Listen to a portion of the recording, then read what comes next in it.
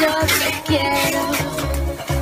Ven, bésame ahora y bésame luego.